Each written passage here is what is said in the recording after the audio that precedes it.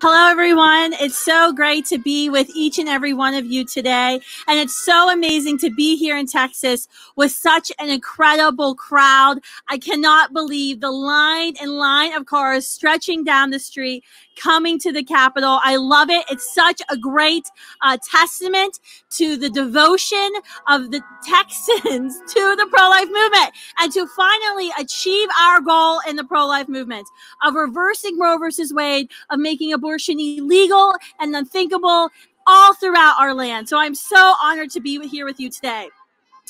Now, I know this week was tough, and there were a lot of people who just seemed to be filled with despair when we talked about the state of our politics, the state of our world, the state of our country. But today, friends, I want to share with you some good news. And that good news is that I believe with all of my heart that we are winning this fight for life. With our army of love, we are winning, and momentum is on our side. Momentum is on our side. Just 15 years ago, we launched our our mission at Students for Life to go and reach these seemingly unorganizable young people who are too busy playing video games and rushing for sororities and fraternities, and to ask them to get involved in the most important human right cause of our time. That was 15 years ago. Today, I'm honored to say that we just recently trained our 100,000th student, 100,000th member of the Pro Life Gen. That we have the honor of serving more than 1,250 Students for Life groups in all 50 states across the country. But we that momentum doesn't just stop with Students for Life and the Pro Life Gen. No, it's far surpasses that. In state capitals across our country, we are passing laws that save lives.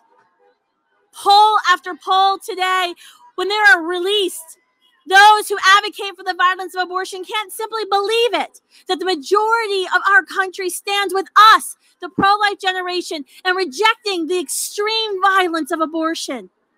The vast majority, over 70% of Americans, agree with us that abortion shouldn't be funded with our taxpayer dollars and that doctors and nurses and other healthcare workers shouldn't be forced to violate their conscience.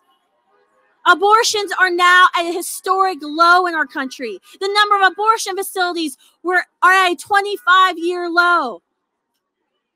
And I think the biggest and the most indicative statistic that we have this momentum, that we are winning despite everything you may see and everything you may read, coming from Washington, D.C., is every year, every January in Washington, D.C., and state capitals like right here in Austin, we see the pro life generation rise up. No other cause in the history of the world turns out more people every single year than the American pro life movement.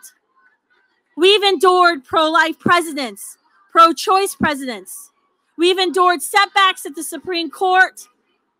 We've endured shocking and disheartening information coming out of our nation's abortion facilities and Planned Parenthoods. But we've never given up. We've never lost hope. We've never given up. Every year at the March for Life, I'm honored to meet pro life leaders from across the globe who come to the United States. And the one question they ask me every single year is, What are you doing differently? And all I have to do is point to them. Point to these young people who are the pro life generation, who are courageously rising up, who are willing to sacrifice, who are willing to be made fun of or scorned on social media, who are willing to be called out by their professors to stand up against the violence of abortion. They're the reason, you're the reason that we have an active pro life movement that isn't just fighting the battle, but that's winning the battle for life. Now, I know there's a lot we must do in 2021. And I'm sorry if you thought all the bad stuff was going to end in 2020. It's going to carry on. And I know we are at a pivotal moment for our pro life movement. For in Washington, D.C., we have elected the most extreme presidential administration in the history of the United States. Very soon, each and every one of us will be funding abortions with our taxpayer dollars. And we will have a moral obligation to fight that legislation and those laws. And I know coming very soon to a college and high school campus near you, the pro life movement will be censored. We will be labeled as haters. Our pro life rhetoric, our events, our pro life social media posts will be labeled as hate speech. Not for the things we say, not that we're violent, because we abhor violence, because but because we're telling the truth. Simply because we're telling the truth. So Friends, I'm sorry I can't come to you with great news saying this is going to be easy because it's not going to be easy. It's not. But I I'm not in despair. I have hope. I have great hope for the future of our movement. And I know we're winning. I know we're winning because I can see the desperation of those who advocate for the violence of abortion. We can see them here today in Austin. They fear the day that we know is coming is very near. And that is a reversal of Roe v. Wade that is sending the decision of abortion back to states where the state of Texas will make abortion illegal once again. But we need you. We need each and every one of you to step up, to do more than you've ever done before. Yesterday, we mourned. We mourn the more than 62 million preborn baby girls and baby boys that have been taken from us. We've mourned the loss of families, the loss of legacies, the deception and hurt of women across our country. But today, but today we are fighting. We are fighting back. And we have an army of love.